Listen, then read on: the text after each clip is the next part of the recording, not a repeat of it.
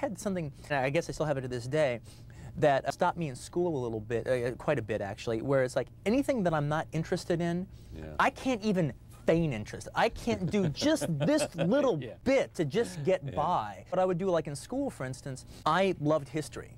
Because to me, in a way, history was like watching a movie. Actually, I had the leg over all the other kids in history because I would see uh, seeing Nicholas and Alexandra or you know, watching movies about this or that and the other. To me, that was stories. So I was interested in stories, and I was really interested in reading.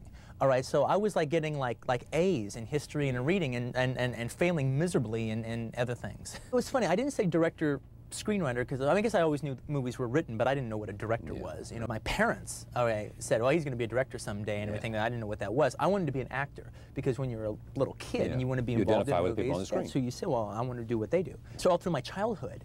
All right, I thought, you know, I'm going to be an actor. I'm going to be an actor, and I wanted to be an actor. Oddly enough, though, I remember my, my mom tells stories, and